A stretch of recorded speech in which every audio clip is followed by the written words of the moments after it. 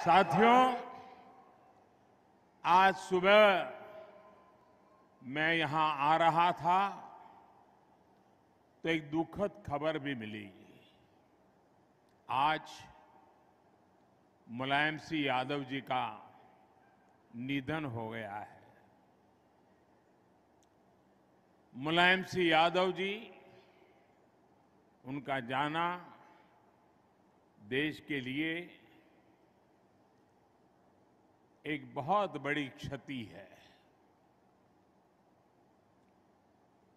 मुलायम सिंह जी के साथ मेरा नाता बड़ा विशेष प्रकार का रहा है। जब हम दोनों मुख्यमंत्री के रूप में मिला करते थे, वे भी और मैं भी दोनों के प्रति एक अपनत्व का भाव अनुभव करते थे। और 2014 में, जब भारतीय जनता पार्टी ने 14 के चुनाव के लिए मुझे प्रधानमंत्री पद के लिए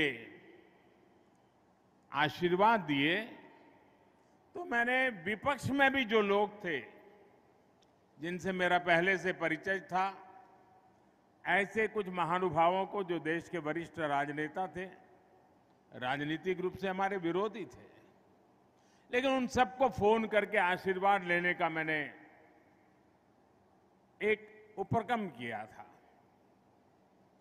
और मुझे याद है, उस दिन मुलायम सिंह जी का वो आशीर्वाद, कुछ सलाह के दो शब्द वो आज भी मेरी अमानत है।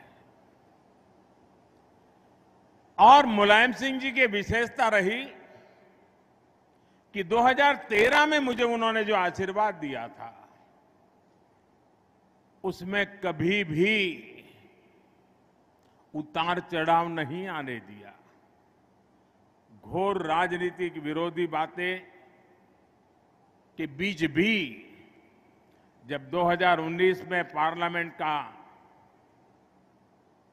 आखिरी सत्र था, पिछली लोकसभा का, और संसद के अंदर मुलायम सिंह जी जैसे वरिष्ठ नेता, उन्होंने खड़े होकर के पार्लियामेंट में जो बात बताई थी, वही देश के किसी भी राजनीतिक कार्यकर्ता के जीवन में बहुत बड़ा आशीर्वाद होता है। उन्होंने संसद में खड़े होकर के कहा था, कोई लाग लगेट के बिना कहा था, राजनीतिक आटा पाटा के खेल के बिना कहा था।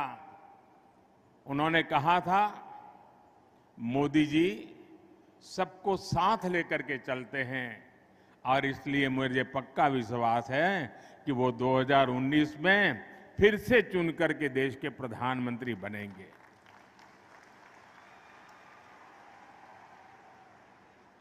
कितना बड़ा दिल होगा जो मुझे जब तक जीवित रहे, जब भी मौका मिला, उनके आशीर्वाद मिलते रहे। मैं आज आदरणीय मुलायम सिंह जी को गुजरात की इस धरती से, माँ नर्मदा के तट से उनको आदरपूर्वक भावभीनी श्रद्धांजलि देता हूँ। मैं ईश्वर से प्रार्थना करता हूँ कि उनके परिवार, उनके समर्थकों को ये दुख सहने की शक्ति दे।